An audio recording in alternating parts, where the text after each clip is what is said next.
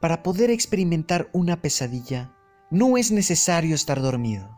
Y esto te lo puede decir una persona la cual vive con algún tipo de enfermedad de carácter terminal. Debidamente documentado, vengo a presentarte este video, el cual, estoy seguro, te dejará pensando.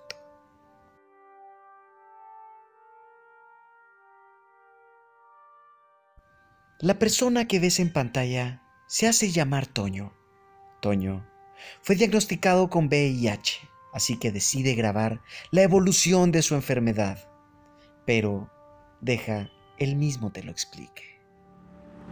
Desde las faldas del Cerro de la Silla, Monterrey, te saluda. Mucho gusto, yo soy Toño y soy cero positivo. Con eso de que a nosotros nos dejan en inactividad obligatoria, más no voluntaria, pues a mí me dio por la onda de la meditada y pensando, pensando se me ocurrió que se videograbara la evolución de la enfermedad, fueran cual fueran mis condiciones físicas. Esto no es morbo, señores, es pura vanidad. Y yo creo que estoy aportando algo positivo a la causa mostrándome tal como me siento. Ni me siento angustiado, ni me siento enfermo. Si yo sé que soy seropositivo es porque me sentenció una tal Elisa que dicen que es imparcial, pero yo me siento tan fuerte como un burro. Y yo no me voy a dejar enfermar antes de tiempo por la angustia de un futuro que no existe ni para mí ni para nadie. Últimamente, como dice la canción, el que se queda se queda llorando, el que se va se va suspirando, eso espero. Lo único que tenía que decir es que hoy, primero de septiembre, peso 65 kilos. Con esta pequeña introducción que nos hacen a este pequeño documental, ya podrás imaginarte los resultados catastróficos y tristes que observaremos más adelante. Mira por ti mismo. Porcelana.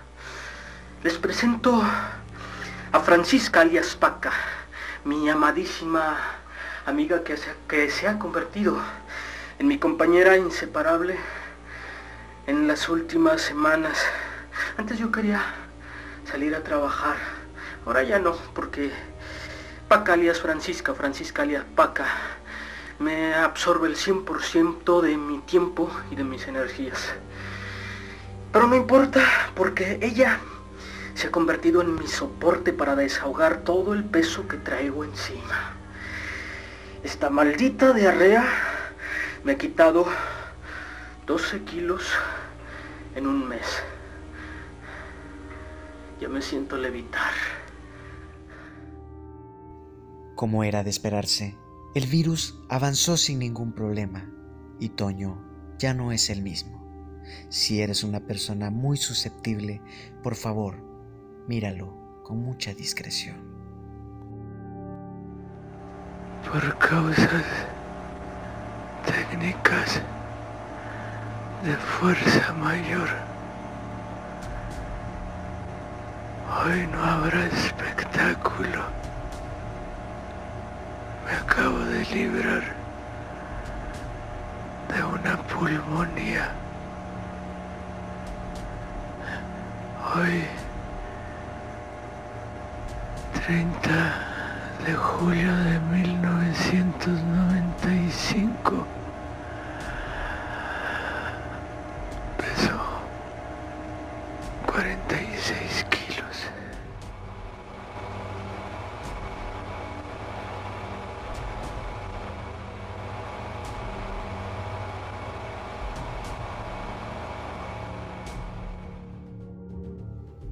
9295 es un cortometraje totalmente poderoso, con un mensaje que llega hasta lo más hondo de los huesos.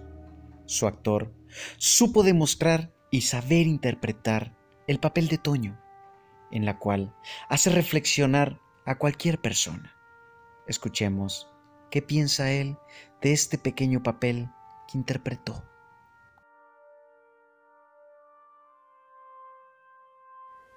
Desde las faldas del Cerro de la Silla, Monterrey te saluda. Mucho gusto, yo soy Domingo José, intérprete de Toño, el personaje del cortometraje SIDA 9295. Después de casi 20 años de haber realizado este trabajo, decidí grabar esta aclaración de dudas como respuesta a algunos espectadores. señores, es una representación de una desgraciada realidad que se vivía en aquella época y hasta no hace mucho tiempo, donde los pacientes morían muchas veces por la toxicidad de los... Antes no. Me despido por hoy, amigos, hermanos, carnales, pero no sin antes agradecer tanto amor, tanta luz que le envían a Toño y con su permiso esa luz me la quedo yo. En descripción te estaré dejando el link directo al video para que lo puedas ver y saques tus propias conclusiones. Muchísimas gracias por tomarte el tiempo de ver este video. Yo soy el Julio López.